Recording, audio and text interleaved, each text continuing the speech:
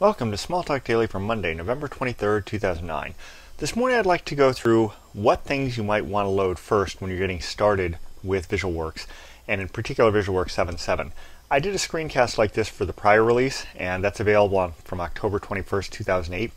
However, things have changed a little bit with the new release. I wanted to go through that. So to get started, let's open the Parcel Manager. Now this is not the best way to build a new image every time. I'll show a startup script in a minute. But just to give you an idea of what you might want to load, if you go to Popular, there's a bunch of things you probably want to deal with. Code highlighting, um, Searchlight tool is quite useful. Tabbed tool sets if you like to have tabs in your browser instead of having the views be there but not really visible.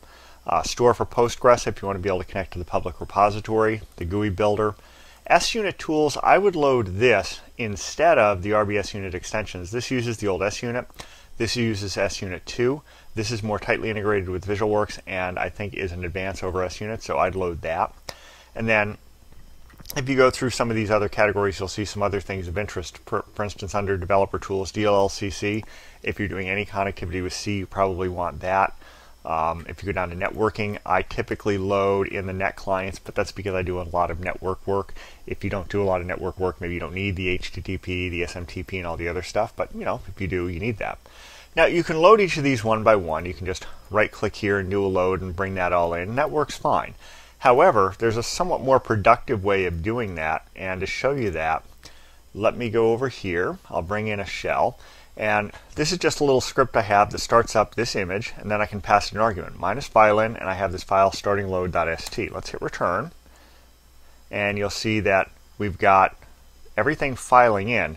While that's happening, what I'm going to do is I'm going to edit that file, and I'm going to show you what's in it. So bringing that back into the view, you see here all it's doing is doing this, parcel load parcel from, and this is our environment variable that gives us the root of the VisualWorks directory structure, slash contributed slash sunit_tools.pcl, rbtab toolsets, autocomplete, RB code highlighting, net clients, and then from contributed Postgres, store for Postgres.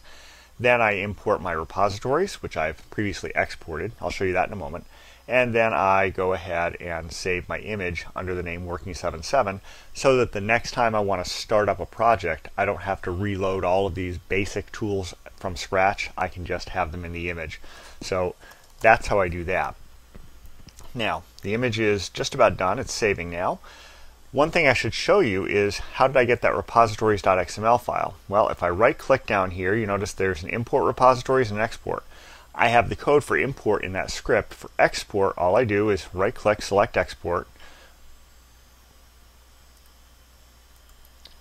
And what it did is it brought up a local dialog box and allows me to pick, I will say repositories.xml. And when I save this, it's going to warn me, I think that that already exists, but I'll go ahead and say replace, and it'll drop that out. And that way, when I want to start from scratch, I can always just go ahead and do this import repositories here from the command line. That was with a right context click in this area down here. Or I could use the script I used to load that all in. So, that's about it for today. Until next time, have fun with Smalltalk.